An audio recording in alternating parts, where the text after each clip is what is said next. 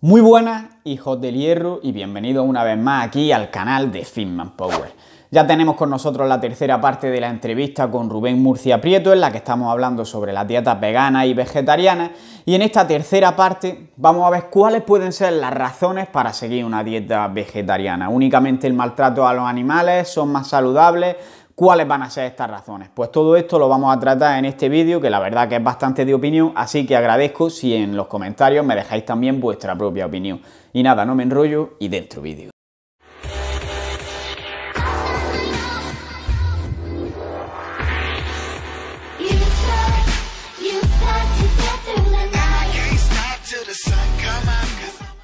Pero bueno, dejando ya este tema un poco aparte, hemos hablado de muchos tipos de dietas vegetarianas y me gustaría que me digas si consideras que en algún caso y como norma general es más saludable una dieta vegetariana que una dieta omnívora. Es una buena pregunta, la verdad. O sea que realmente, aunque desde un tipo de, vista clínico se centraba en, en una persona, en un individuo, realmente no podemos decir que exista una dieta ideal, ¿no? que se aplique igualmente a, todas las personas en todas las etapas de su vida, parece que desde una perspectiva de salud pública sí que se acepta, sobre todo en los últimos años, que dietas basadas en plantas, y en estas dietas se incluyen esas dietas eh, vegetarianas, entre ellas las que hemos dicho, pues sí que parece que, eh, muestran un efecto protector en, el tratamiento y en la prevención de, muchas enfermedades crónicas que, producen muchos problemas en, la actualidad, ¿no? Por eso, eh, por ejemplo, dietas vegetarianas mm, muestran efectos beneficiosos en prevención y en el tratamiento de, por ejemplo, enfermedad cardiovascular, de dislipemias, de obesidad, de diabetes tipo 2 de hipertensión e incluso de algunos tipos de, cáncer.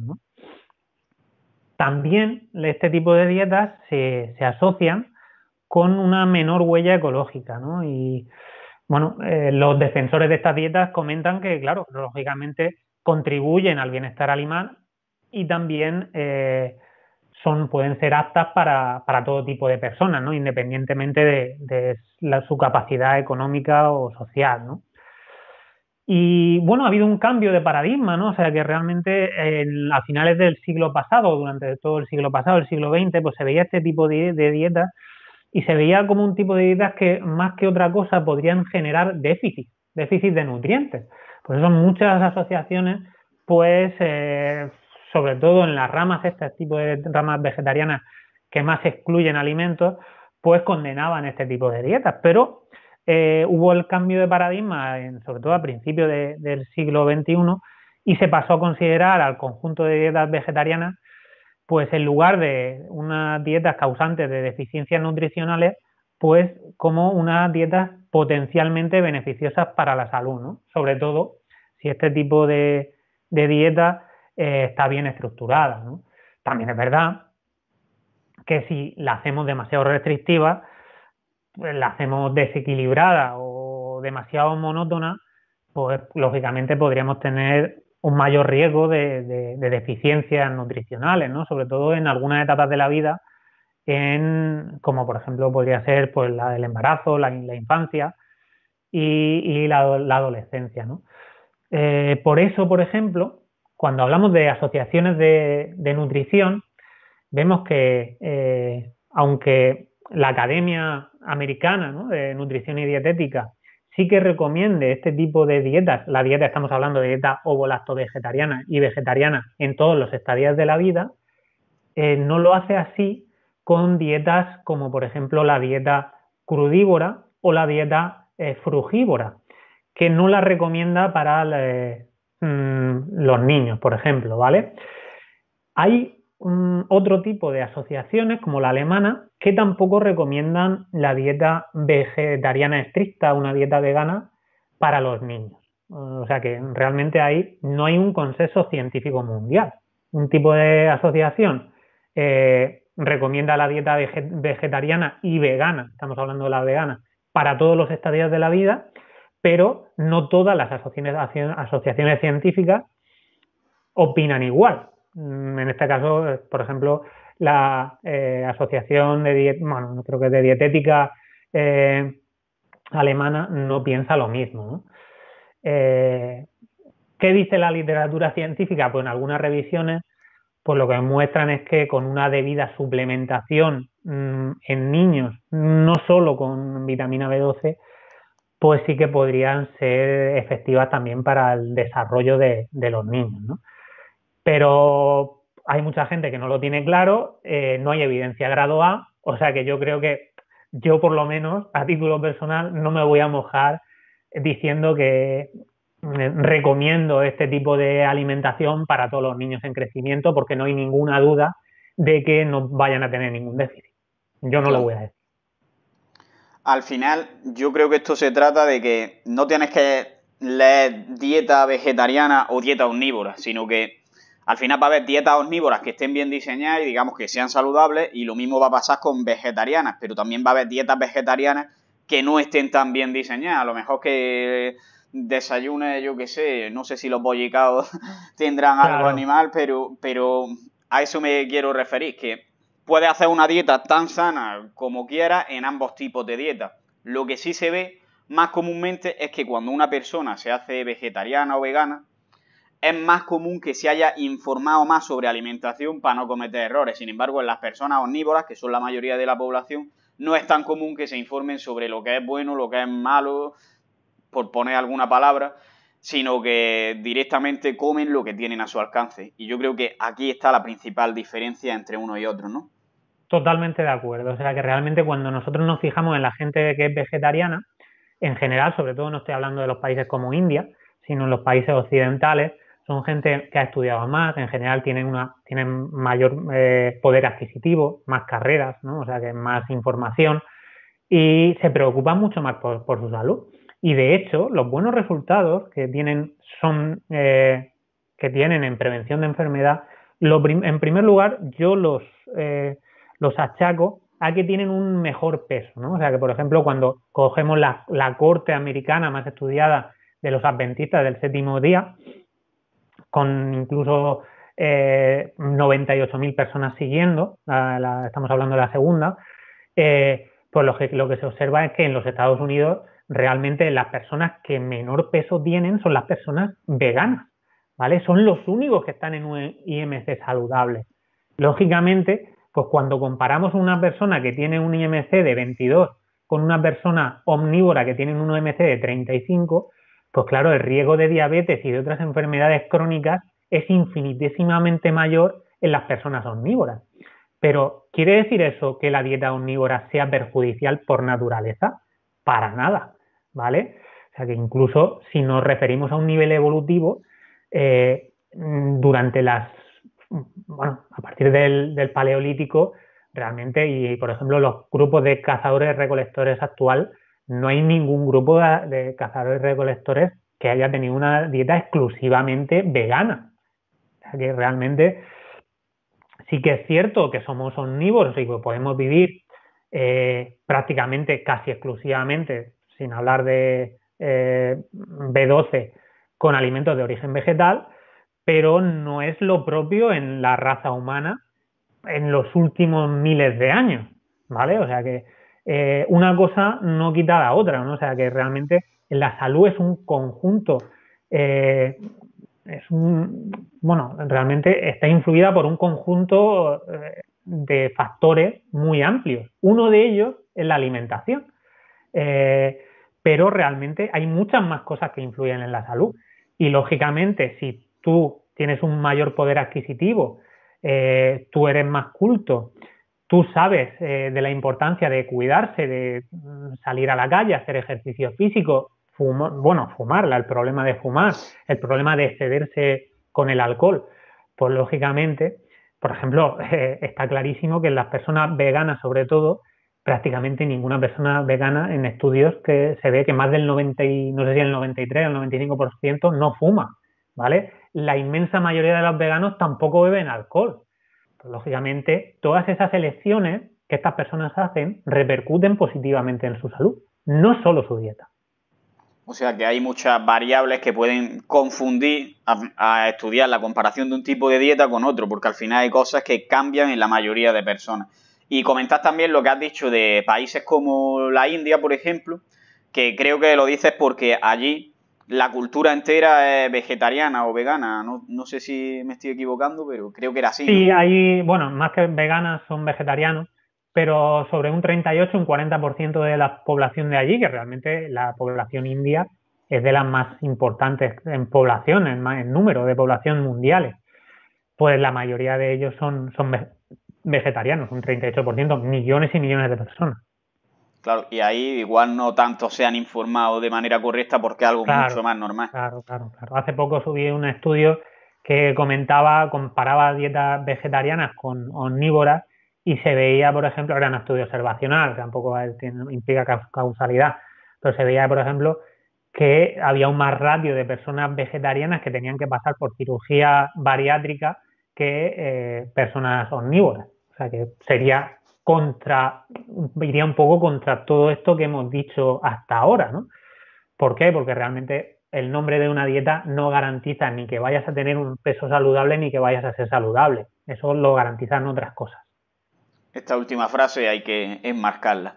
Y bueno, otra cosa importante es que al final cualquier dieta hay que disfrutarla, porque si no es imposible seguirla. Entonces quiero que me digas si consideras que una dieta vegetariana puede ser igual o más sabrosa que una dieta omnívora.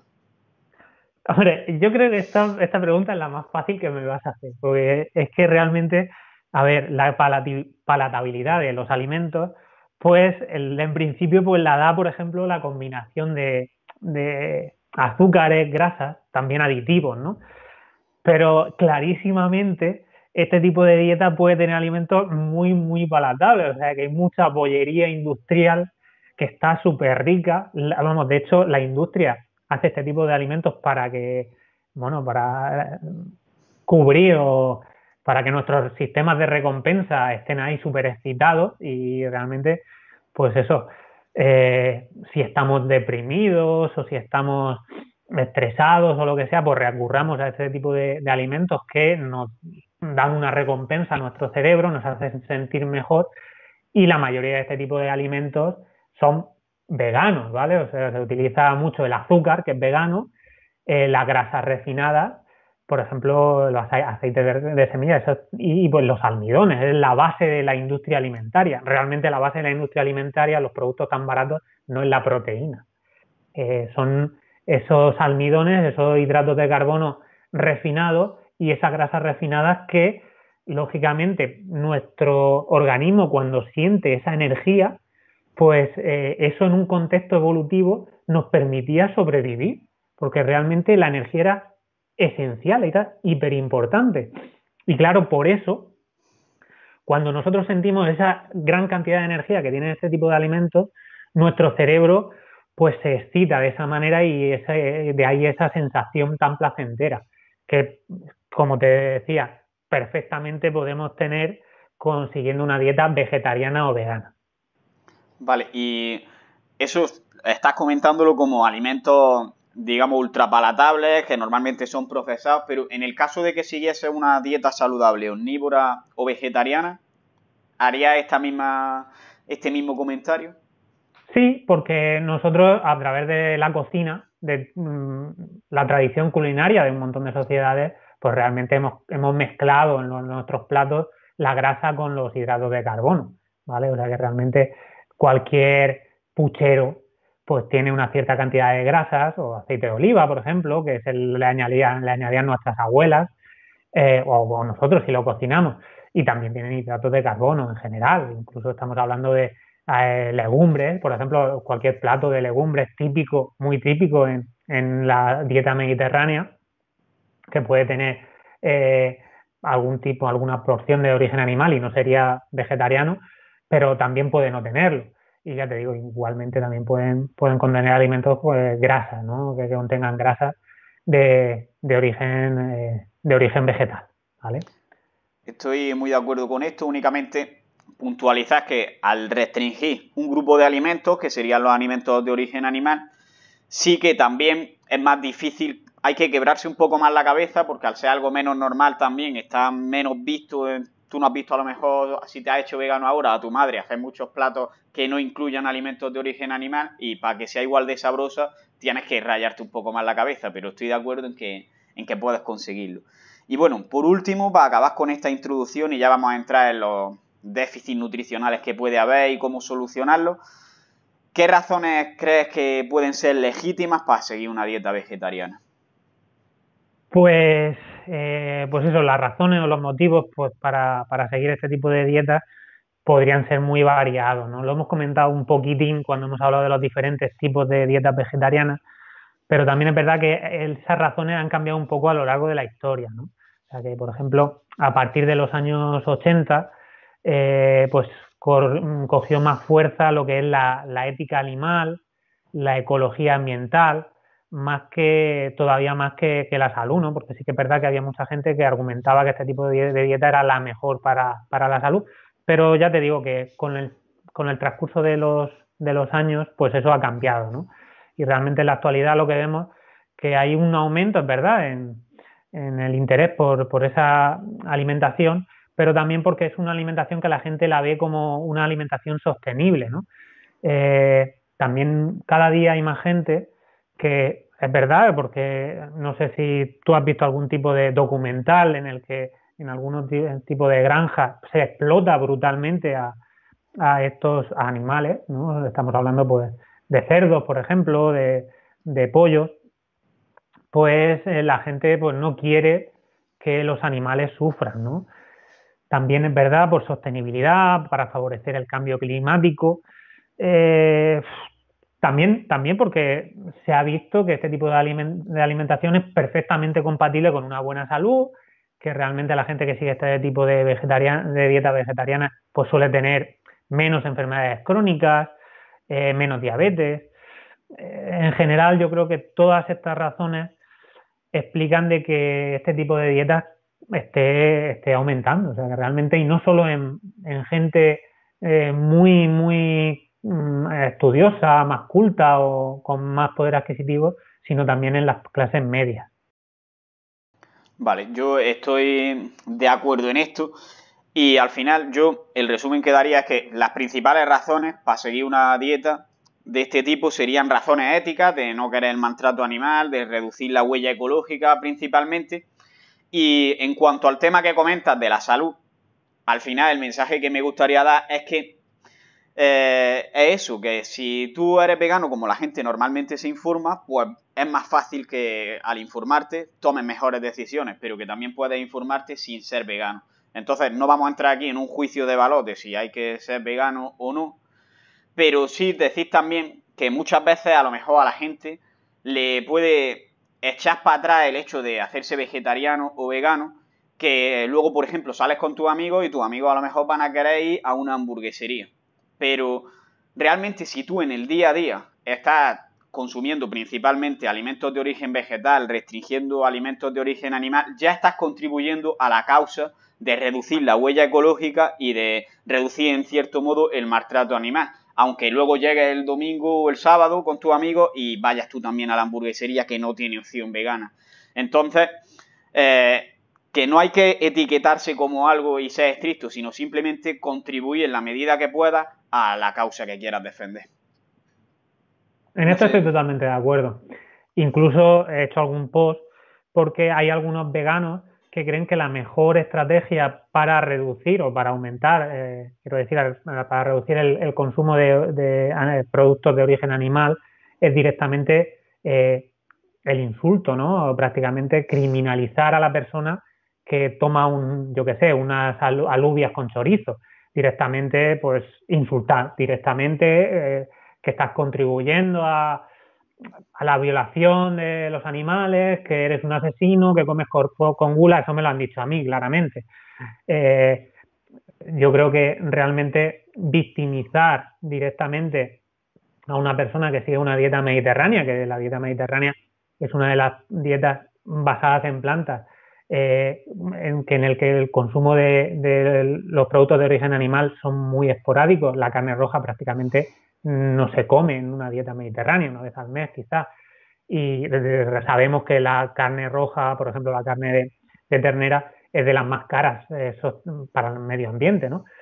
Pues victimizar a esa gente eh, yo creo que no es el camino, ¿no? Realmente el camino es la información y yo creo que gente informada pues podrá hacer decisiones teniendo en cuenta eh, teniendo en cuenta que realmente nosotros influimos en, el medio ambiente y influimos en todo, ¿no? En nuestra salud, nuestras decisiones van a, definirnos a nosotros y también a, van a, a, determinar el mercado. O sea que realmente si todo el mundo nos ponemos a, consumir más productos de origen vegetal, el mercado nos venderá productos de origen vegetal.